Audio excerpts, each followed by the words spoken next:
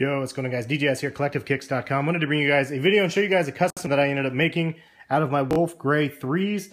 And uh, basically I did a couple things to uh, change up this sneaker right here. And I think it looks pretty good.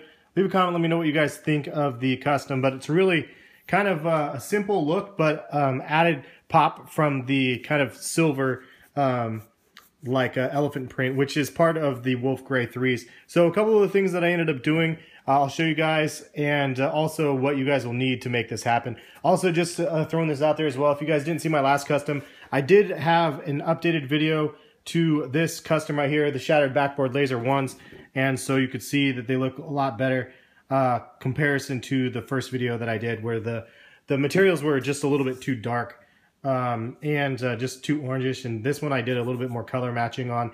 And then also, um, yeah, I uh, filled out the piping, the black piping, because that was something um, that I needed to do. So if you guys are interested in that video, check that out in the uh, description as well. But uh, but this custom, so I did a couple things from the Wolf Grays, and I did both of the shoes actually already. Um, but the first thing I did obviously is the entire upper right here is uh, black now. This part and this part was like Wolf Gray. And then also the midsole right here, this was the only part that was black previously, and now the entire midsole and this part right here is black, which was gray, I think, or white. I'm sorry, it was white before. So now it's I blacked out uh, midsole.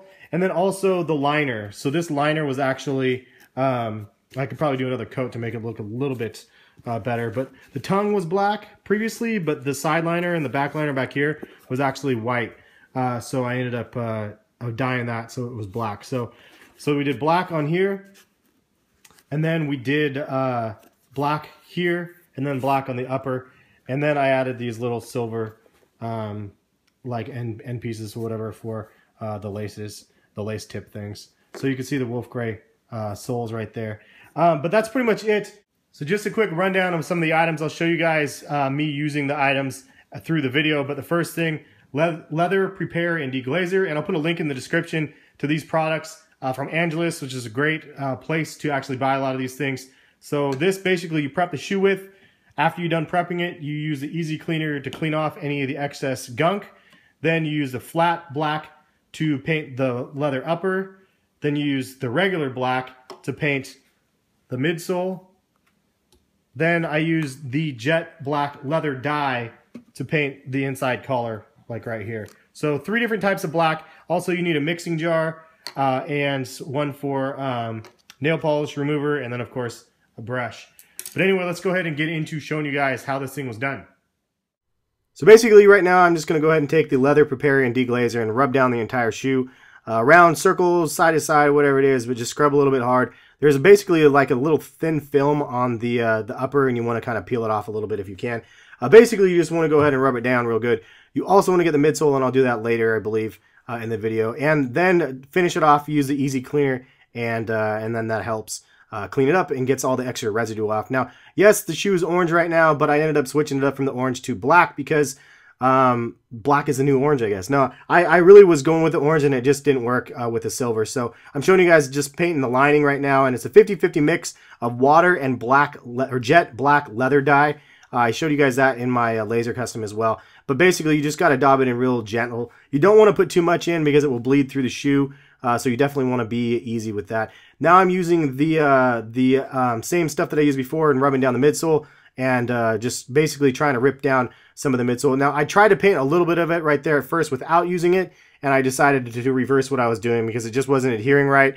So I knew that I should use the leather prepare and deglazer in order to prep it for the midsole. So I'm deciding to paint the midsole black. I decided to do this because I like the look of the blackout midsole versus the white. I thought it looks cleaner uh, when I'm going to be doing the black uh, kind of custom over top of it. So it just adds a little bit extra pop.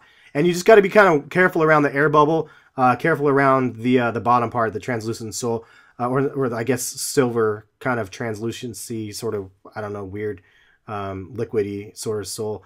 Um, but uh, but basically that is that.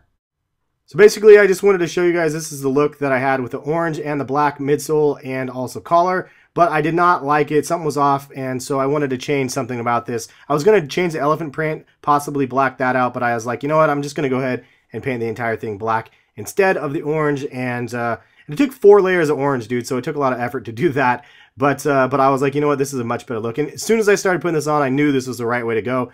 I'm using the flat black um, paint, and this is definitely the way I like. Uh, it will be less glossy this way with the flat black.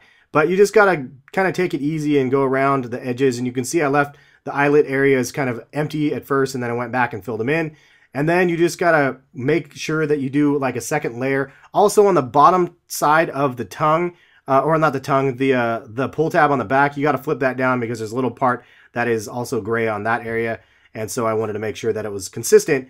And uh, but basically, yeah, two layers of black uh, paint was enough to make this thing look good. And uh, I think I did a pretty good job on it. It actually looks pretty decent um, at least in my opinion. But here's the finished product look so you guys get a, an idea of what I did. And then I threw in the laces after this, and I'll show you an on-feet section in a second. Uh, much better than the wolf grays in my opinion. I love gray, but gray with the wolf gray and the silver thing just looked off to me. Thinking about using um, the black to black out that jump man on the tongue and on the back. Leave a comment, let me know what you guys think. Should I black out the tongue on the jump man? Or the jump man on the tongue? I'm tired, dudes the jump man on the tongue and on the back or not. Um, just curious what you, guys will think. Also, you'll notice that I added some uh, silver lace tips on these, which is not something I would necessarily recommend because these ones are too fat for the eye holes, so I can't actually undo the laces if I need to. Uh, so just a note on that. But I think they came out pretty clean. Leave a comment. Let me know what you guys think. Appreciate the feedback. And shout out to Angelus Paints uh, for helping me out with supplies. And shout out to Sneakerhead in the Bay uh, for helping me out uh, with the custom. Just giving me some insights here and there. Let me learn. Let, let me learn as slowly as it takes because uh, unfortunately I'm not a very fast learner. But uh, he's a good teacher guy that's helping me out. Appreciate him. Um, and you can see on this one I didn't do the the silver uh, on this lace tip on the this shoe, but on the other one I did just to to mix it up and see. But turned out pretty good. Even up close, it turns out it, I didn't do too horrible of a job. Just a couple of spots on um, the midsole that I would have liked to touch up, but I can always do that later. Um, there's kind of a side look at it and uh, the front. So yeah, man, pretty happy with the way it came out. What I, it's basically what I wanted to do since I got the Wolf Grays, and I was gonna pay somebody to do it, but glad I was able to do it myself instead. Thanks for watching. Catch you guys for some more vids later. Peace.